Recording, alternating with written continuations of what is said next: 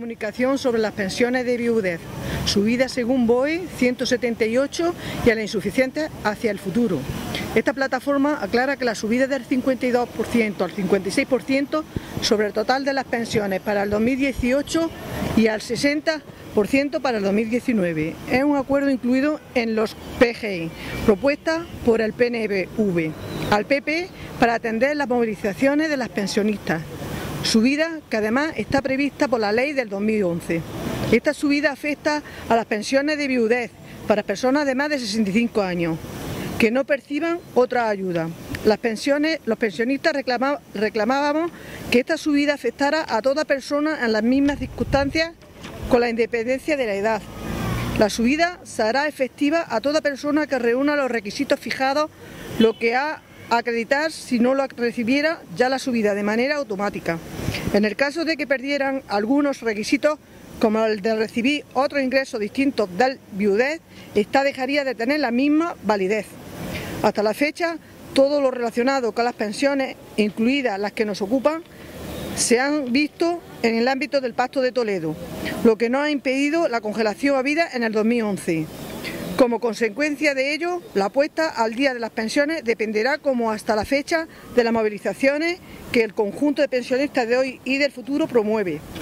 En las últimas contactos de la representación de la coordinadora estatal con el Ministerio de Trabajo Migraciones y Seguridad Social, los acuerdos se remiten al Pacto de Toledo y con ello a la Comisión Permanente de los Partidos Políticos, representantes de organizaciones patronales y sindicales más representativas. Como quiera que en este marco de participación la situación de los pensionistas solo ha cambiado a raíz de la aparición de la plataforma y coordinadores de pensiones entendemos que a cambiarse o desaparecer como el tal Pacto de Toledo. Con vista al futuro más allá del 2019, debe plantearse las revisiones de las pensiones en general y las que afectan a la brecha de género y las más bajas en general. Estas cuestiones y otras se están debatiendo en la plataforma local, en diversas comisiones y a las que se han invitado a pensionistas que uno, tras el verano, gobierne quien gobierne, las pensiones se defienden. Bueno, digo que queríamos aprovechar también esta rueda de prensa para informaros de un poquito más ampliamente de la reunión que se celebró el 31 de julio entre la ministra de Trabajo, Migraciones y Seguridad Social con la gente de nuestra coordinadora estatal. En esa reunión evidentemente se concedió porque hubo una petición formal por parte de la coordinadora para exponerle directamente, sin intermediarios, exponerle directamente cuál es la, plataforma. La ministra lo recibió, estuvo también el secretario de Estado con ella y como, suele, como, dijo la representante, la portavoz de la coordinadora, eh, le había gustado la música, pero la letra de si los acuerdos no. Es decir, lo que se había hablado y el hecho de celebrar la reunión, pues lo, aprobaban, es decir, le parecía algo positivo de celebrar la reunión e intercambiar eh, ideas y propuestas pero en realidad después el tema de acuerdos no, porque lo que se pretendía, entre otras cosas, era también que la propia coordinadora formara parte de las posibles reuniones, de las futuras reuniones que tenga el Pacto de Toledo. Ahí parece que no se le dio mucho cancha, aunque la ministra lo que dijo que se reuniría con la coordinadora todas las veces que fuese necesario. La coordinadora, yo, desde nuestro punto de vista, parece que preparó bastante bien la reunión, puesto que en lugar de llegar con la plataforma, la plataforma reivindicativa de una manera amplia, lo que hizo era hacerle una propuesta, si me permitís voy a leer algo de ella, porque lo que hizo es plantear tres fases. Una primera fase de medidas que se podían empezar a tomar ya inmediatamente, una segunda fase que se podía hacer a lo largo de esta legislatura y una tercera fase para la siguiente legislatura una vez que termine esta. En la primera fase, por ejemplo, os digo algunas de las propuestas que se habían hecho. La recuperación del poder adquisitivo perdido desde el año 2011, es decir, desde que empiezan a aplicarnos el 0,25 a, a los pensionistas se ha ido perdiendo poder adquisitivo. Recuperar eso y mantener también que las subidas futuras sean sobre el IPC, pero no para el 2018 y el 2019, sino para el futuro. Porque ya sabéis que en los presupuestos generales de lo que se hablaba era de 2018 y 2019. El segundo punto, por ejemplo, en esta primera fase era, pues, aprovechando esto, era eliminar, derogar el factor de sostenibilidad. El factor de sostenibilidad lo que va a conseguir es que en función de la esperanza de vida que vayan estableciendo los organismos correspondientes, pues las pensiones van a ir disminuyendo. Su, argumento es si vas a durar, si vas a durar más, si vas a vivir más, pues te vamos a pagar menos todos los años para que no nos cuesten más al Estado. ¿no? Entonces esto se pide la derogación desde hace ya mucho tiempo. Otro tema importante que se plantea es garantizar las pensiones en los presupuestos generales del Estado, es decir, que no se esté hablando continuamente de que no hay para pagar porque no hay ingresos, porque la Seguridad Social no recibe, porque claro, si hay trabajos, si hay mucho trabajo que es precario, si hay salarios muy bajos, lo que ingresa a la Seguridad Social es muy bajo. Entonces lo que se pide es que si no hay suficiente entrada de ingresos en la Seguridad Social, pues que se, con los presupuestos, es decir, con los impuestos, porque se complete lo que haga falta para las pensiones. ¿no? Y un tema que es reivindicativo, que es antiguo ya, es el de contemplar el derecho a una pensión digna en la, Constitución española. Es decir, lo mismo que se puede reformar una Constitución para el artículo 135 de la noche a la mañana, pues que también haya un acuerdo político para que el derecho a la pensión se contemple en la, en la Constitución. Otro punto, por ejemplo, en esta primera fase sería retirada o disminución del pago de los medicamentos de los pensionistas.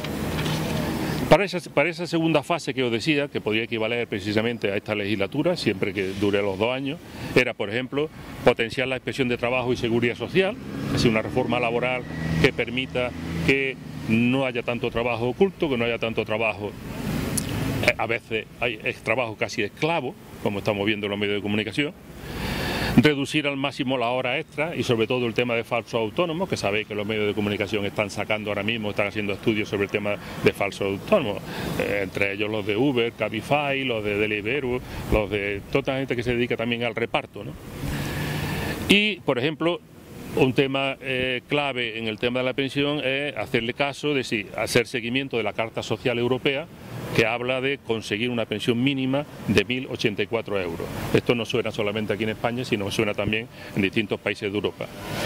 Y para la siguiente legislatura, como digo, bueno, un, tema clave que es terminar con la actual diferencia de género en tema de pensiones. Es decir, se habla que si, si la diferencia de sueldos, por ejemplo, entre hombre y mujer en el campo laboral está por encima del 20%, está en el 20 y tantos por ciento, cuando eso se traduce después en pensiones, cuando llega la jubilación, la brecha, la brecha salarial entre hombres y mujeres llega casi al 40%.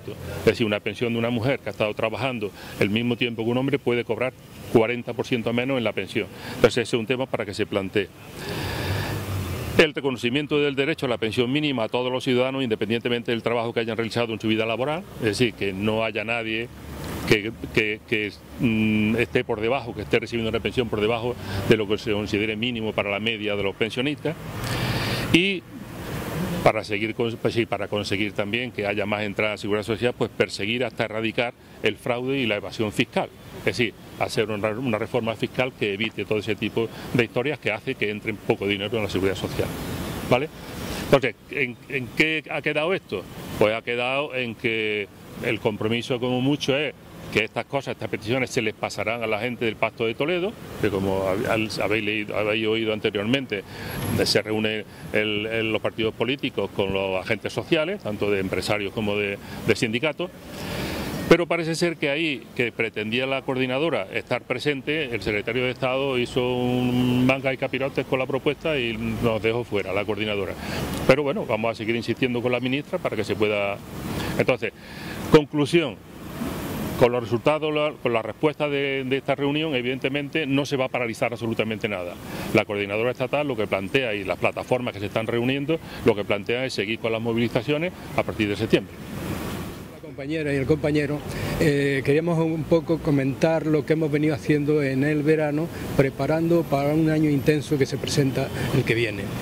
Eh, terminamos el curso eh, con un encuentro, una segunda reunión en Antequera de toda la plataforma andaluza de movimiento.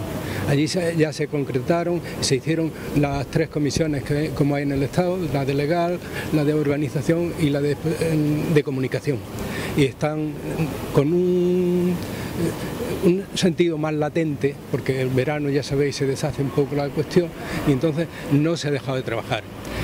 A nivel local también hemos seguido eligiendo los asuntos principales en los que tenemos que ir incidiendo. Uno de ellos es precisamente, ya lo habíamos puesto, la cuestión del pacto de Toledo.